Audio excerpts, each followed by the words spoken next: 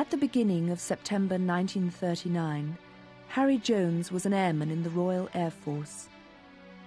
Harry lived near his base in Norfolk with his young wife Mary. War was an abstract thing. Although we'd heard about it on the Sunday morning, there was no great haste to go fighting anybody. And as far as we were concerned, we'd be flying, and I would be in the back end of an aeroplane with guns. I remember that Mary came on her bike uh, to the perimeter of the aerodrome where we had the aeroplane, and she shouted across, Oi, did you know the war being declared? Throttle set. Contact. Contact.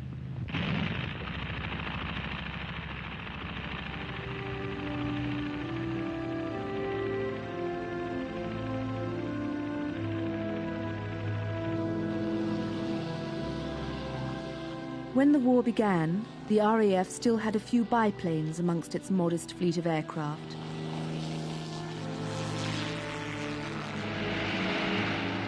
But it was not long before bigger, more powerful bombers were carrying the war to Germany night after night. On board were the most highly trained men ever to go to war. Their average age was just 22, and 55,000 of them died. This is the story of those who made it back, and the men and women on the ground who waited for them.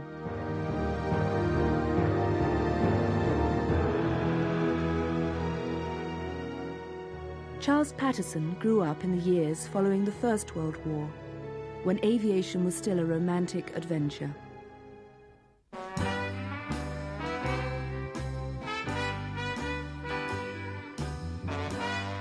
Been much inspired by uh, these RFC boys going up and uh, and these wonderful dogfights, and then a lot of casualties. But when they came back, going off to Amiens or somewhere to drink champagne and have a good time, and then off again at dawn, I thought, well, if there's another war, that's the way I want to fight it.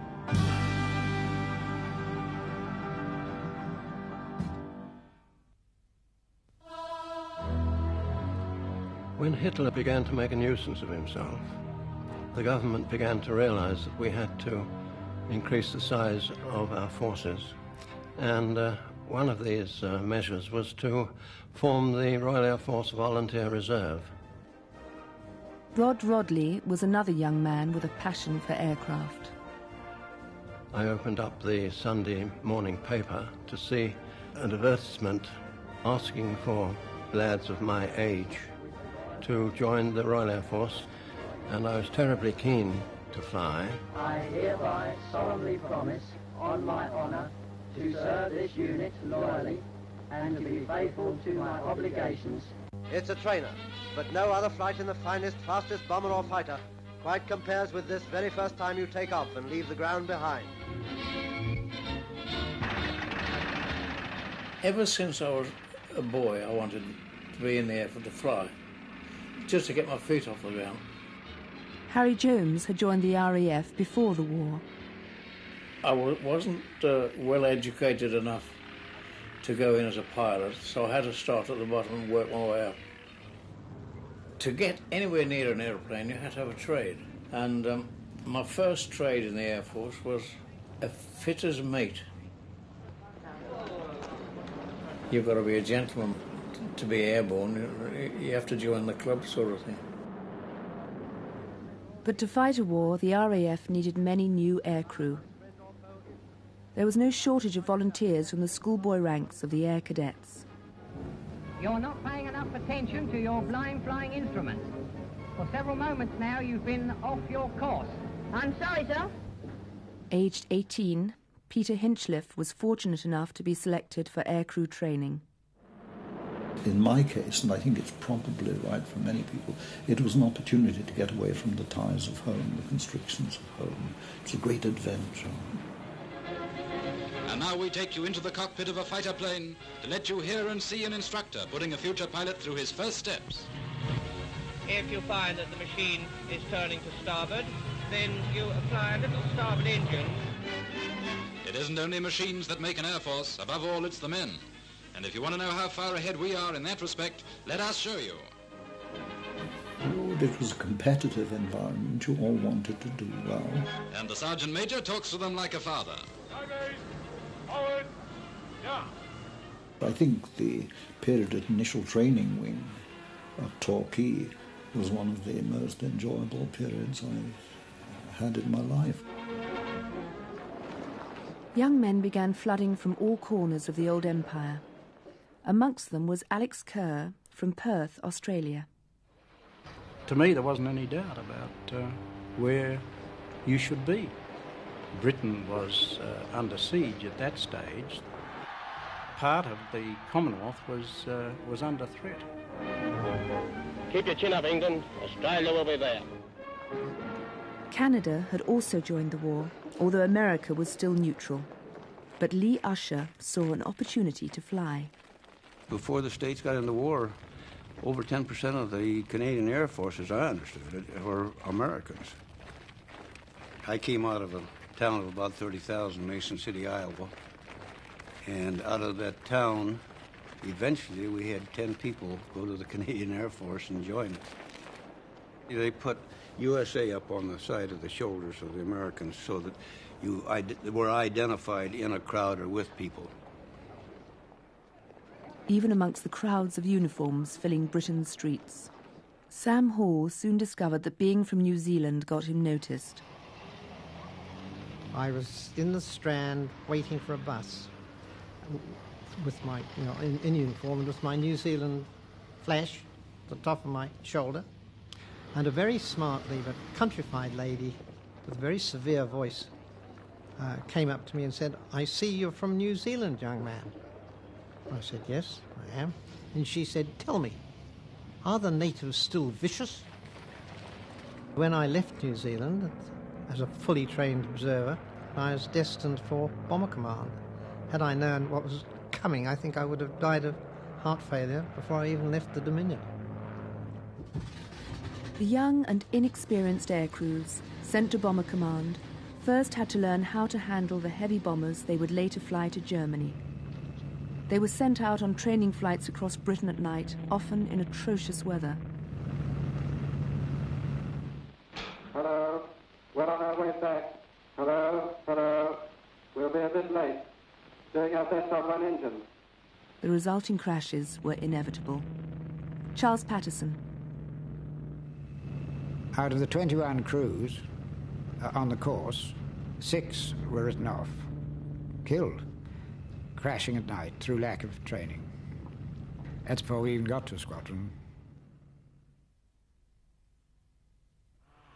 Rod Rodley survived training and travelled to join his first operational squadron.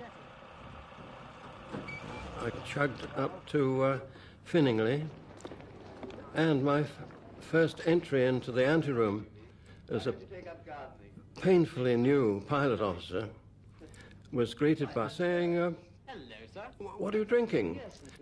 In training command, the group captain never spoke to you, let alone offer you a drink in the mess. So I, I knew that from then on I, I was going to enjoy the war.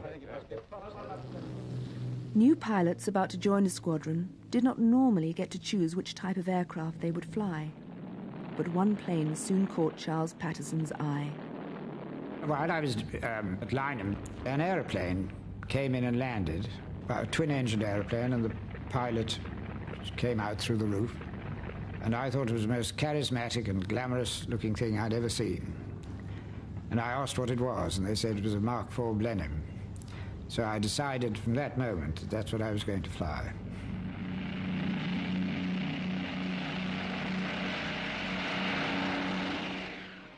after I'd finished my intermediate training on twin-engined Oxfords at Brize Norton and got my wings and did get a commission, I found I was posted to Kinloss up in the north of Scotland to a, a Whitley operational training unit.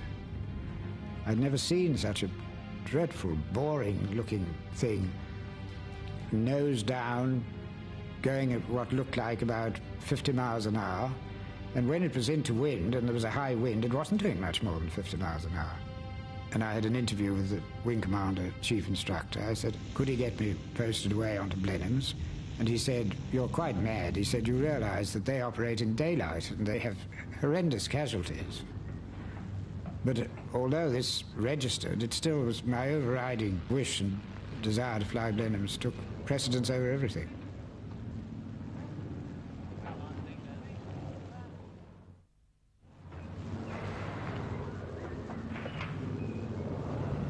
The moment I got in a Blenheim with the instructor, and he told me to take off, and I opened the throttles and felt this surge of power and the, and the taking off, the lightness, of, I knew it was for me. Absolutely my plane.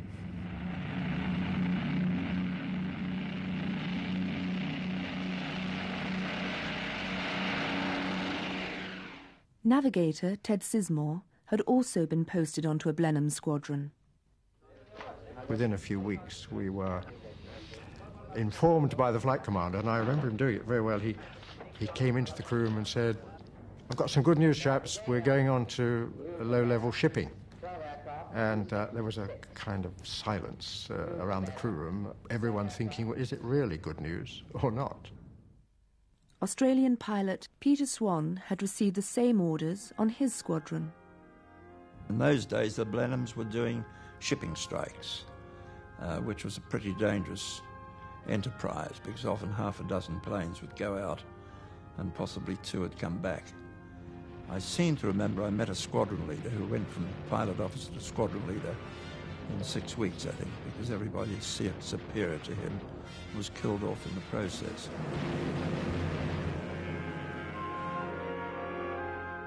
Even though each mission was virtually a death sentence, the airmen still managed to retain their sense of humour. Charles Patterson. Some story fairly early in the war appeared in the Daily Mirror in which the RAF boys were described as intrepid birdmen dicing with death. And this caused tremendous hilarity right around the Air Force and uh, was often brought into conversation as a sort of sardonic joke.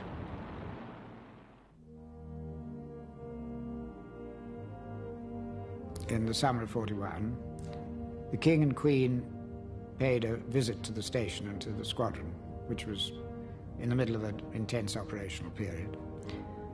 I was a flight commander at the time. I went from pilot officer to squadron leader in six weeks due to the casualties. And uh, each flight commander had to take first the king and then the queen and present their flight to him. We were all lined up. Well, I brought the queen up the line, presenting each one by name, and she took each one by the hand and looked up at these young chaps. We were none of us more than 22. Looked up at each one as much to say, I think you're just too, too wonderful. And then, to my horror, one young Yorkshire sergeant air gunner, sort of tall, raw-boned youth, was so overcome that he seized the Queen Mother's hand with both of his and said, Oh, I am so pleased to meet your Majesty. I nearly passed out. I thought, God, I shall be. I've had it now. And all she did was put her other hand on top of his and say, No more pleased than I am to meet you, Sergeant, I assure you. And that absolutely made his day. He was on cloud nine, you see. A week later, he was dead.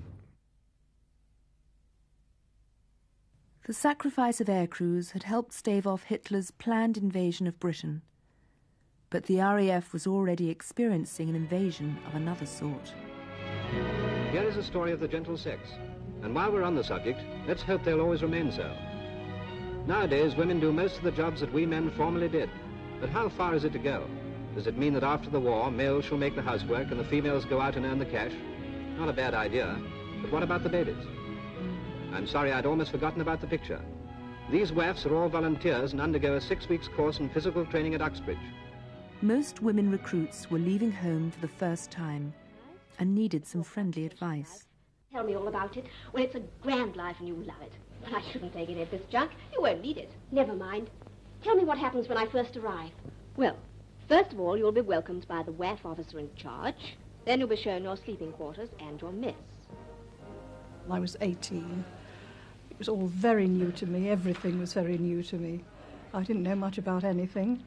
Pip Beck was one of thousands of young women drawn to the Women's Auxiliary Air Force. Really, what, what uh, sort of made me decide I had to join the WAAF was, of course, the Battle of Britain, which, um, you know, took everybody's imagination, and you imagined yourself sort of down there looking up at the pilots and wishing them well and so on and so forth. I hadn't expected to arrive really at a bomber station. I didn't know very much about what was going to go on there.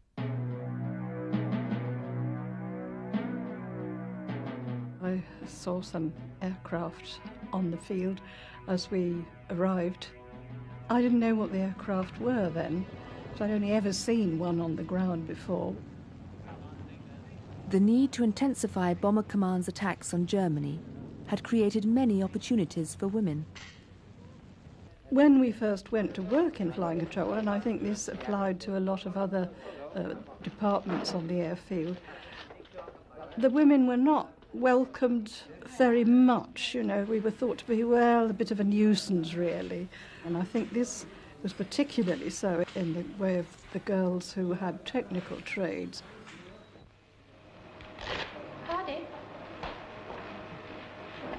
One. Inevitably, the men thought, oh, God, women, you know, now we're going to have a mess up. But it didn't work out like that, you see, because they had been very well trained. How were we expected to behave? To behave ourselves. um, you know, not get too sort of tied up with the men, although, of course, obviously, everybody did sooner or later. That was, that was inevitable. I mean, when you think of vast number of young men and young women all together on an air base, this happened. Well, when we first saw them, we thought, oh gosh, you know, these are young gods with wings and so on. It was so romantic, you know, of brevets and things on their uniforms, and stripes, and fantastic. Different from anything we'd ever known. Yes, perhaps one did feel a bit proudly conscious of one's uniform. I think one did a bit, certainly. Uh, certainly very proud to have wings. Robert Kee was a young pilot in Bomber Command. I remember there was a terrible, sort of popular song, He Wears a Pair of Silver Wings. Frankly, some embarrassing song. No, but um, I can also remember being in a restaurant, I think, with, again on leave, I think, but with two other people from the same station. Um, when a fellow came across and uh, gave us a bottle of champagne, you know, you're doing a grand job, that sort of thing. Uh, he didn't know quite sort of how ungrand a lot of the grand job was in terms of effect, in terms of the bombing anyway. Having spent most of my life as a journalist, it's rather embarrassing to remember this, but I remember when I had a sort of contempt for journalists who wrote about it all. And I've been looking back over old, an old diary I kept at the time, and um, there was no sense of um, depression about the frequent failures to reach a target. Well, I remember well often reading the newspapers, you know, we, uh, 300 RAF bombers pounded Frankfurt, Mannheim, Cologne last night. I remember one particular raid on Brunswick where we had uh, seen nothing and bombed on ETA at the time. We should have been there, whether we were or not. I don't know. I was a navigator, second pilot navigator. Beginning to cloud up business. Yeah, it is. Um, won't be much good for map reading. We should should be over from Brunswick now, right? Bombs went through Ten-Tenths Cloud from about 15,000 feet. Uh, come back next morning. A brilliant raid on Brunswick by 300 RAF bombers.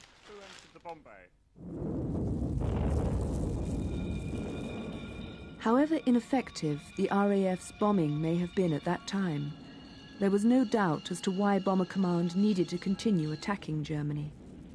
Australian pilot Alex Kerr. Really, our first taste of World War II was when I and my good friend stood on Tower Hill and watched London burning. The whole city was burning.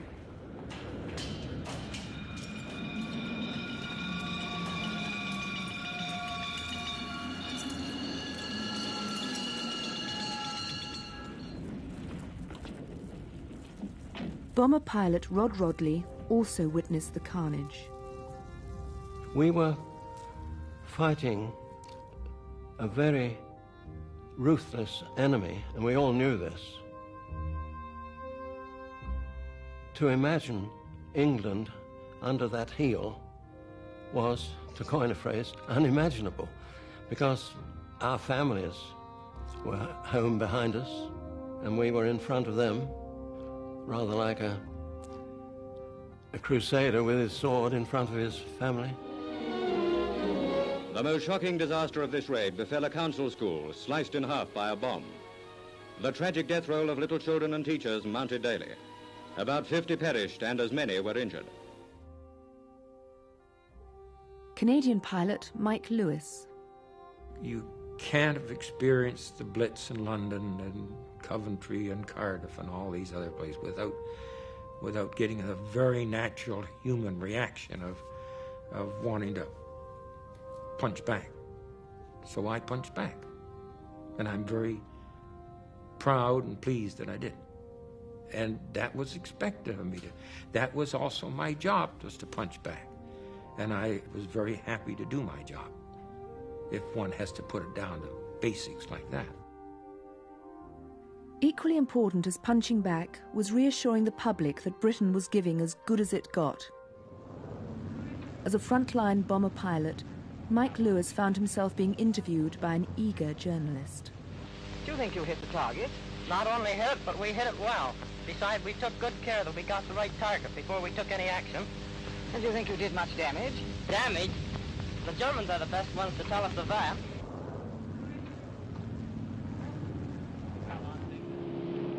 Mike Lewis flew the twin-engined Hampden, which pilots regarded with mixed feelings.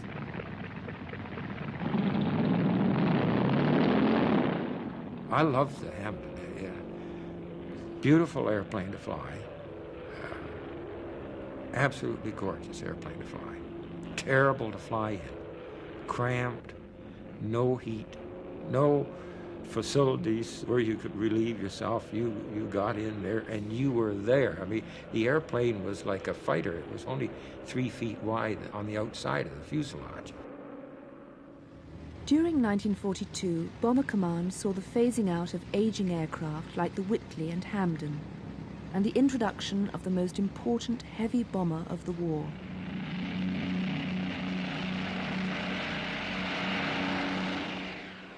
The four-engined Lancaster had a crew of seven and could carry between five and ten tons of bombs to Germany. Pip Beck Station was the first to receive them. When these, this enormous thing came taxiing along the perimeter track and by the watch office, we, we were all awestruck, I think, because we hadn't seen such a large aircraft before. But it was so graceful also. I mean, it looked businesslike, and I think we were very impressed by it. With the new heavy bombers coming into service, Bomber Command received orders to launch a massive night campaign against Germany's cities in a bid to bomb the Nazis into submission. Navigator Harry Lemarchant. Everybody had these gay coloured scarves, uh, be their old school scarves or uh, girlfriend stockings or something like that. But uh, they all had this uh, round their uh, around their neck, and lots of little woolly uh, teddy bears and uh, teddy bears in flying kit even, and uh, so the things that were uh, made by wives, girlfriends, and so on. I think it's nice that, in a way, that, that people thought like that. All bang on? Yes, everything's bang on. Right. Pilot Peter Swan flew 94 operations with Bomber Command. And it, it, it, was a, it was a team effort in the big way. I mean, all the girls, for instance, in the, uh, in the map department, they always stayed up when we went out. Quite remarkable. It was a strange world because I think we tried to make the most of the fun and the opportunities for doing something else, something quite outside what we were doing every day. As I say, in my respect, it was the choir and also the Amateur Dramatic Society, and going out to dances, and we thoroughly enjoyed ourselves. But later on, I realised very firmly that it wasn't just a game, it was a matter of life and death. And you would go back and you would go on duty and you would look at the ops board and you'd see that there were ops on tonight, and you would know that some of those people were not going to come back.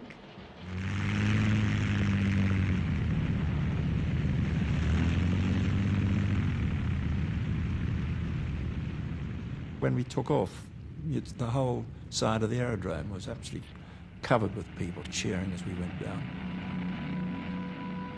See, each time we went out, we knew we were likely to lose a crew or two.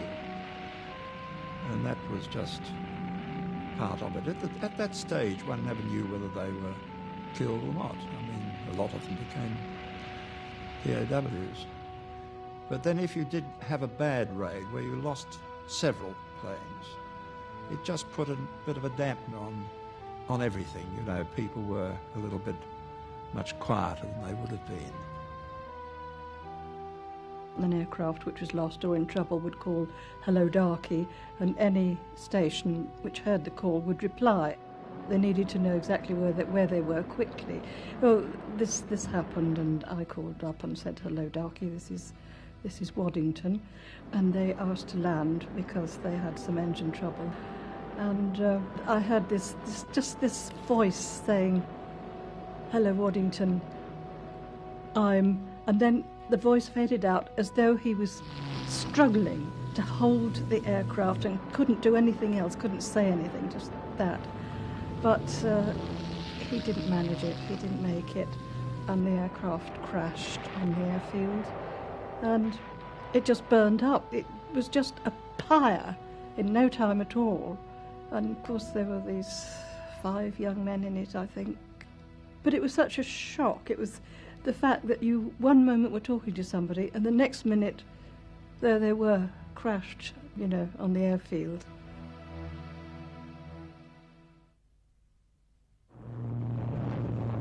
Those who landed safely back at base always had one question on their minds. On all these raids, when we got back, the last thing you did before you went to bed was to find out how many had come back. And naturally, there was the elation of everybody came back. But unfortunately, that didn't happen very often.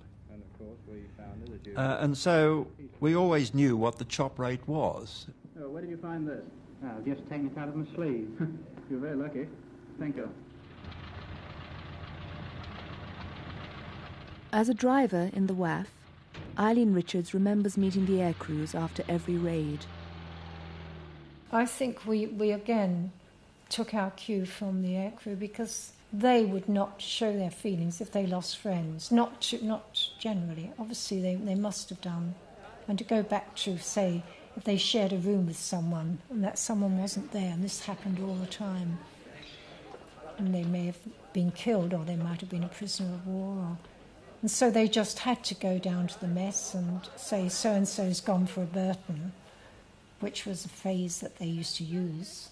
And um, we couldn't show our emotions because it might upset them. One zero two four. My main recollection is I was very frightened when I turned up. Leonard Cheshire joined his first squadron rather nervously. He later went on to win the Victoria Cross. Every now and then you suddenly sat down and thought, well, how am I going to behave when I really get in action? I think I expected to find sort of a lot of heroes walking about. I don't know what I expected. But I, I wasn't expecting to find everybody so normal. They were just going about their job as if they were doing nothing different from anywhere else. And somehow you got carried along in the stream. And you realize that the one thing you couldn't do was be different from them. Even if you were frightened, you couldn't afford to show it because you didn't want to be the one man alone who looked frightened.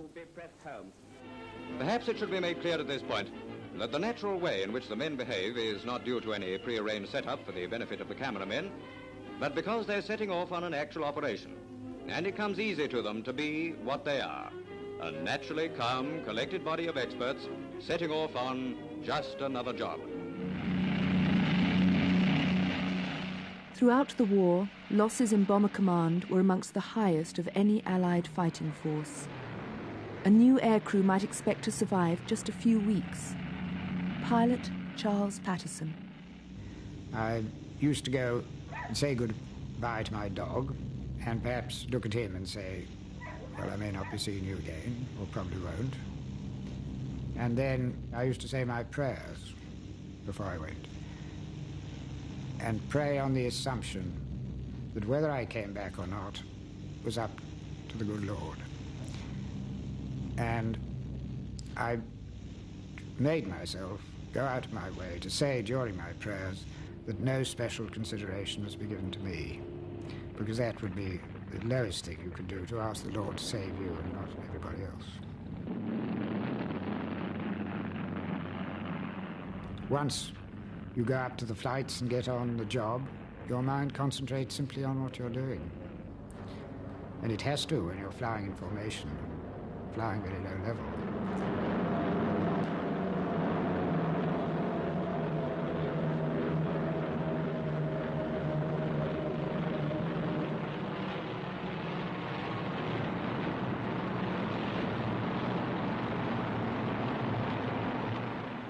Now, the filming of raids for newsreels and reconnaissance was becoming commonplace.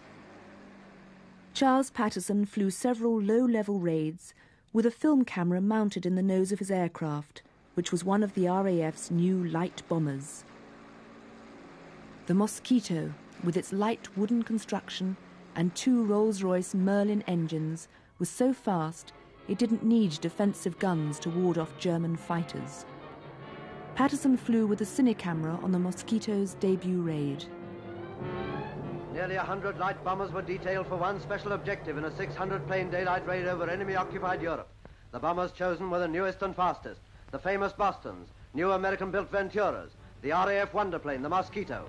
60 miles inside the Dutch coast was the largest radio factory in Europe, working for Germany. This is it. The huge Philips radio valve works at Eindhoven, which you will recognize later as you fly up to it. It involved all the aircraft in the group, which meant um, three different kinds of aircraft.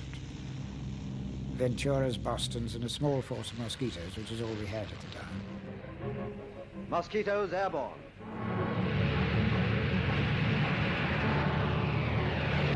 Venturas airborne. All the speeds of these aircraft were different, so it was very difficult to get the timing right for each lot to arrive over the target at the right moment, not get muddled up with each other. On the way into the target, the Mosquitoes did get muddled up with some Bostons and have to throttle back. We were down to 180 miles an hour, um, which is slow for a Mosquito.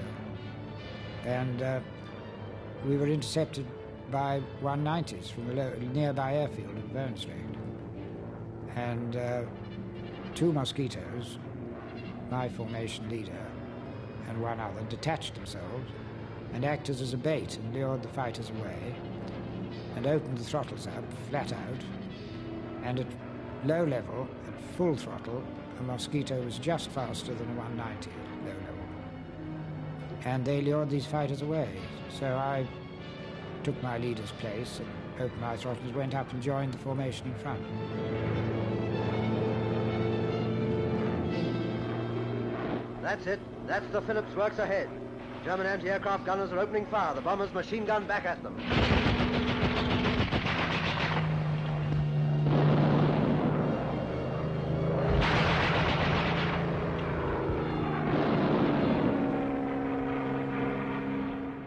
And we uh, did a shallow dive onto the target, which was covered in uh, smoke from bombs which had already been dropped.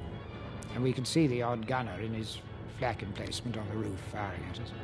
But we dived down and just dropped our bombs into the middle of the smoke and the mess, and then carried on down to ground level and raced for home, which uh, all of us, all our mosquitoes did get back except one.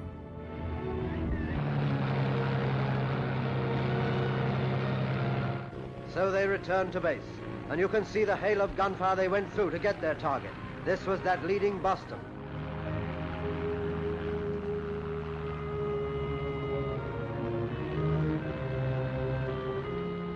On returning from the raid, one observer said it was the most magnificent bombing he'd ever seen. And we say we always knew we had the most magnificent Air Force.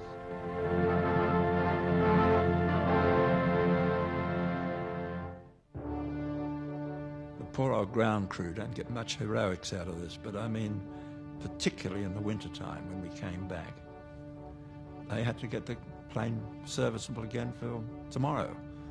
And there could be snow and ice everywhere. And, you know, they were always there when we got back, irrespective of what time of the morning it was. We had the same ground crew all the time for that one aeroplane. And we had usually a flight sergeant who was, we called him Chiefy, um, a sergeant, a corporal, and a couple of airmen. They would look after the aeroplane. It was their baby. And we treated it as well as we possibly could. Maurice Chick was a pilot on Lancasters. On several occasions, on returning, we had flak damage, that's anti-aircraft flak damage. We'd have fighter damage and so on. And you'd apologise to the chiefy, who would come out, Chiefy Whitaker his name was, and you'd say, I'm sorry, Chiefy, but we've got a few holes in the aeroplane. Not to worry, Skipper, we'll fix it, you see. And they did fix it. They worked all day and all night to get that aeroplane ready. Whilst ground crews repaired their aircraft, the air crews took what time they could to rest and relax. Rod Rodley. We used to make sure that we enjoyed ourselves. I mean, it wasn't worth saving money. Uh, What was the use of a roll of banknotes in your hip pocket if you're going off again tomorrow night? So you spent and uh, you drank. There were one or two saints amongst us, but not many. And uh, to the civilian standing alongside us at the bar, we must have seemed a very strange bunch. We also used to meet uh, American uh, 8th Air Force uh, crew members in, in the local bars in Cambridge. They would, uh, of course, have the best looking girls because they had the most money, uh, but we had the best looking aircraft.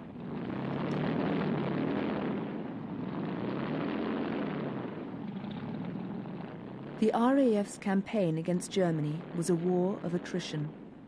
In the five years of conflict, Bomber Command attacked enemy targets almost every day or night. Occasionally, a special task was demanded of the pilots and crew. Prelude to an epic operation by the RAF. For security reasons, it has not been possible until now to give a full account of this exploit. In the words of the briefing officer, mosquitoes are to attack the prison at Amiens to assist more than a hundred prisoners to escape. These prisoners are French patriots condemned to death for assisting the Allies. At briefing, the crews detailed for the task learned that the prison was not difficult to find. In order to deceive the Germans as to their destination, the aircraft swung north at a given point and flew to Doullens, where they turned south until they hit the main Albert-Amiens road. This road provided an excellent lead into the target. I think most of us had a very good look at the English coast on the way out. I did, certainly. Used to look at it and think, I wonder if I'll see you again. But uh, didn't dwell on it. You couldn't afford to dwell on it.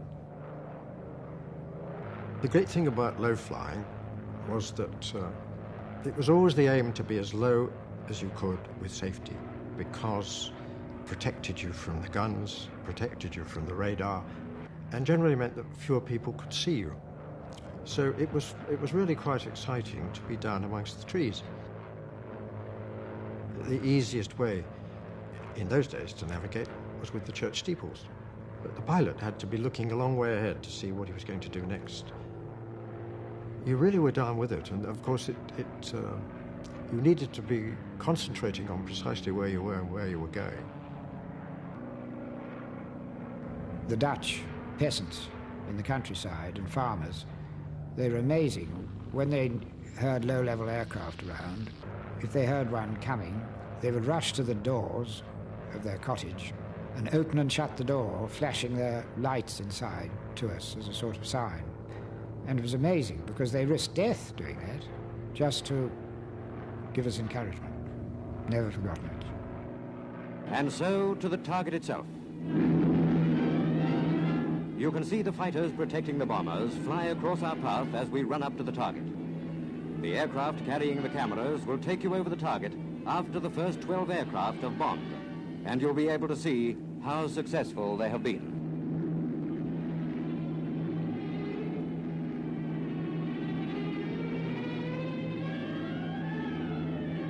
And here's the shot again, slowed down. There could be no doubt about the success of the attack. As the aircraft ran over the target, the pilot said he could see men running through a large hole where the wall had been breached. And inside the prison, he could see many others in brown dungarees running for the hole in the wall. With amazing skill, the bomb aimers have blown an exit in the main building. Perfect discrimination in this, one of the most difficult operations of the war.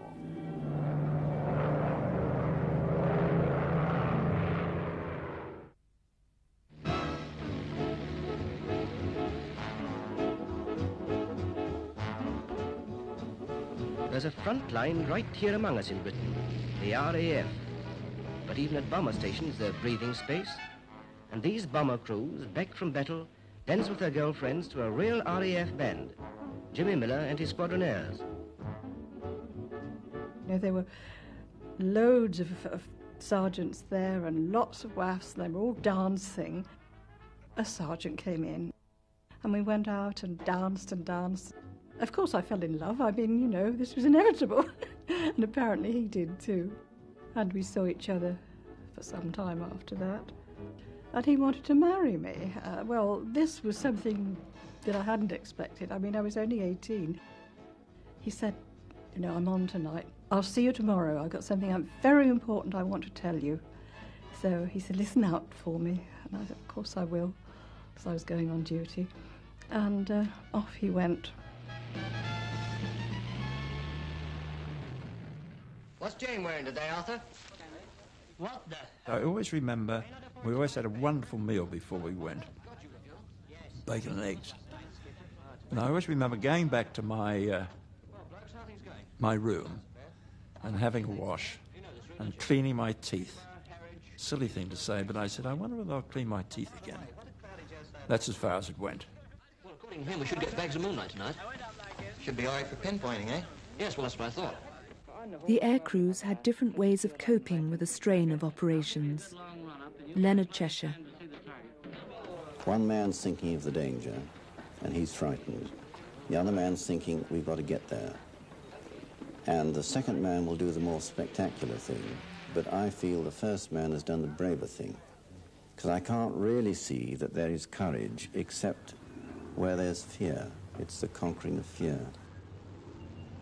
I can remember the first operation when suddenly I realised, good God, I might get killed. And all those boyish dreams and ventures went. And the fear that you've got, a feeling of unease in the stomach, and the hope is when you're in the air, it's never going to be you.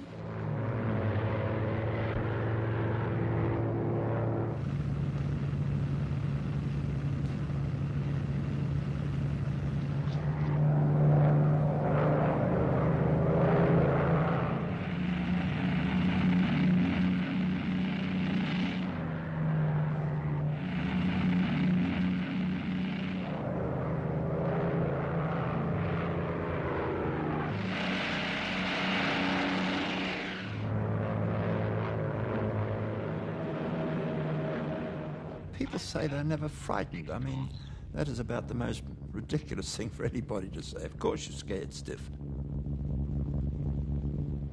The bombers could take many hours to reach their targets in Germany. Darkness gave them some protection against night fighters, but not flak. Around the target, searchlights probed the night sky. To be caught in a searchlight, it's, it's like uh, somebody puts the light on and you're standing there in, in your nude. you feel so exposed because the, the light is just all around you in the aeroplane, and you feel very much on your own up there. When it's dark, you don't realize you're on your own so much. But when you get lit up like that, you realize I'm here to be shot at, as it were.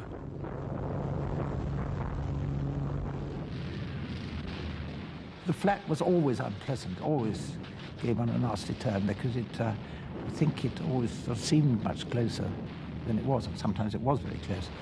But this uh, horrid black thing with a, a, red heart going off beside one was always scary.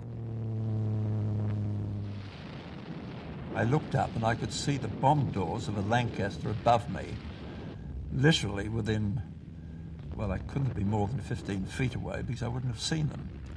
And the doors were wide open, and we were just coming in on the bombing run. Of course, I knew there were planes either side of us, although I couldn't see them because it was night time. But I kind of eased my way to the right, I think it was, um, a few feet so that his bombs just fell to the side of me. But it wasn't a very nice feeling, I can assure you. You were still running into the target, the shells were coming up, and you were just a sitting duck. I remember suddenly searchlight were on us. It didn't wave around the sky.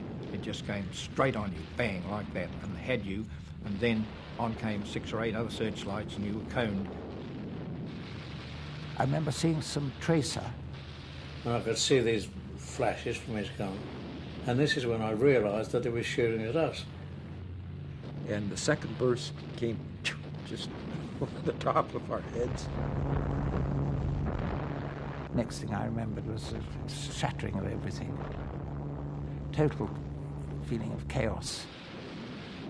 But I remember very strongly uh, the feeling that the engine had no power the fire started around about the middle of the aeroplane, and there was all sorts of smoke and confusion. And uh, by this time, we'd lost a lot of height, and there were flames all around. And I thought, well, the best thing I can do is get to the front through the hatch and get out. But by that time, the aeroplane was pretty badly smashed up. Uh, there were bits hanging off. I was hit in the back first and come across and then through the ankle. And I rang up the skipper in the front and said, Look, I've been hit. And it bloody well hurts.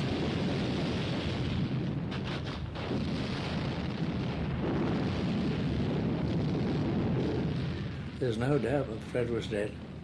He'd been hit with a lot of bullets. I saw his body shuddering, and his colour went from green to grey. And, uh, oh yes, he was dead. I remember finding we were in a spin. I remember thinking, this is it.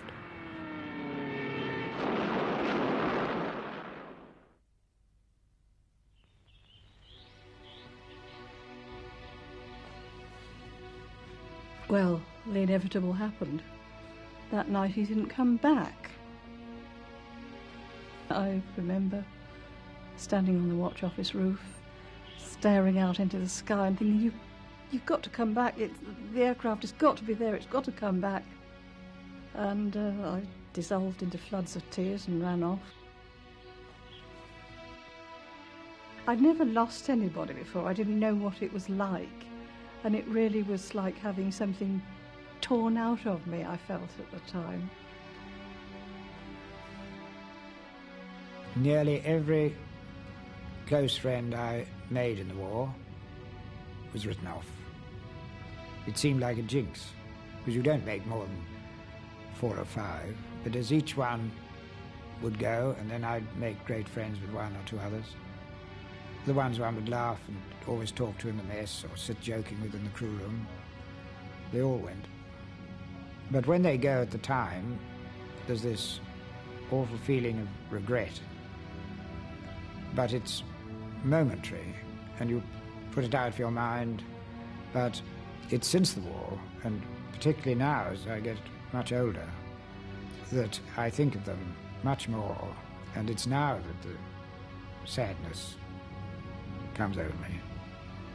And the faces of my closest friends float across my mind.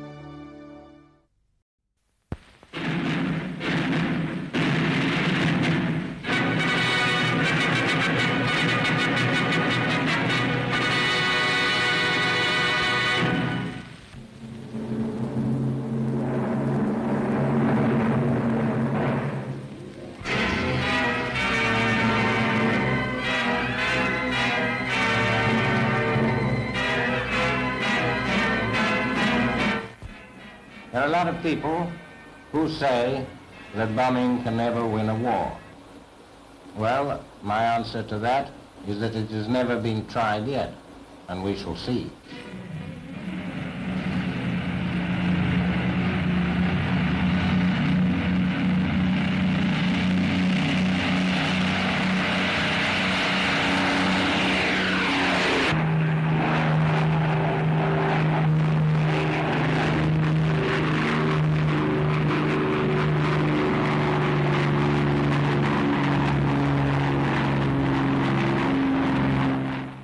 Air Marshal Harris has promised Germany a tremendous, unprecedented, non-stop bombing. The Prime Minister, too, has told them what they may expect, city by city. And this, the Lancaster, is one of the principal means by which those promises will be made good. That prospect is as clear as the bomb aimer's view of his target over Germany, or as clear as this view of Britain from a Lancaster coming into land after a raid.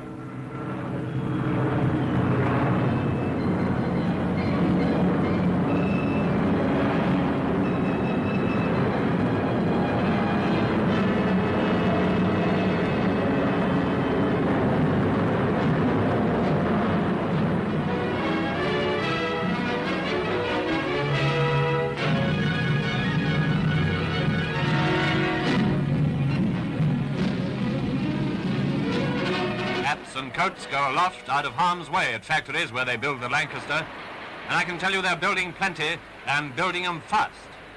Every single worker, man or woman, realizes that the RAF is depending on them for Lancasters, more Lancasters, and still more Lancasters.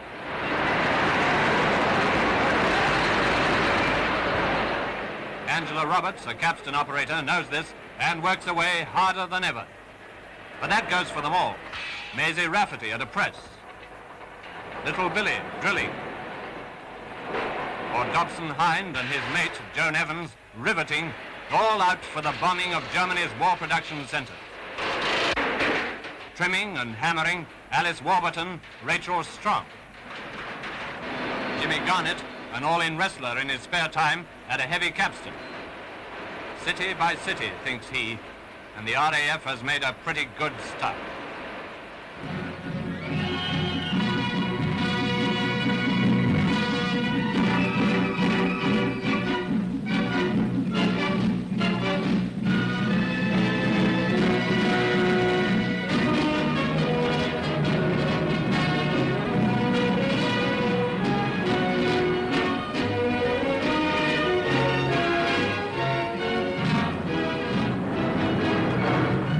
These are just a beginning, we're told. Nothing to what the Germans must expect. A terrible prospect indeed, the colossal hammer blows that are most certainly going to fall upon Germany, city by city.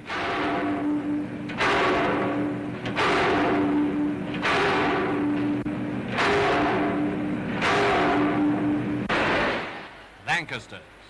More and more Lancasters.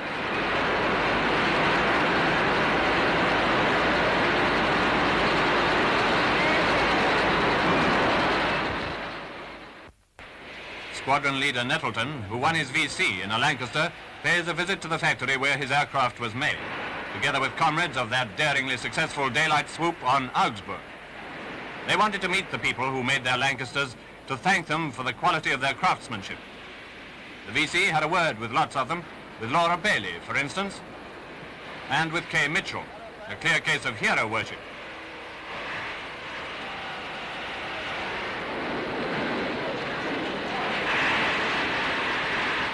Amy Norbury, it seems, draws her inspiration from film stars. With it, he struck hard, right at the heart of the enemy. Nettleton went right round the factory, missing nothing.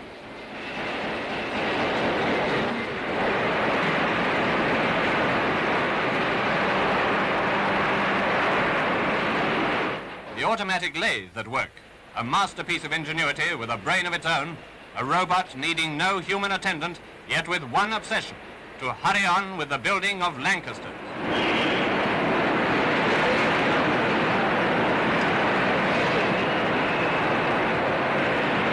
He inspected fuselage sections. He saw Amy McGrath and Harold Friend at work on a bomb floor.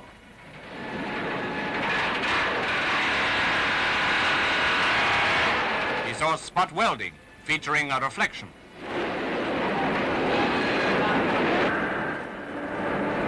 The nose assembly bay, Tommy Oddy, Les Rowland, a fitter, and electrician Jack Carroll. And he saw that the work was good, that Lancasters are coming along very fast. A magnificent bomber, a real triumph of design and workmanship. With four Rolls-Royce Merlin or Bristol Hercules engines, it has a speed of 300 miles an hour, it has a range of 3,000 miles, it has a bomb load of eight tons, more than twice the load of a Liberator, itself one of America's best bombers. The Lancaster's design, moreover, lends itself to rapid production and to ease of maintenance and repair. Important items these in view of the plans made for the bombing of Germany. At the moment, the Lancaster is the finest heavy bomber operated by the United Nations. We know it's the best in the world, and we believe it's a weapon with a great destiny in the winning of this war. That's the Lancaster, as seen by our cameramen, the brothers Wyand and Jack Ramsden.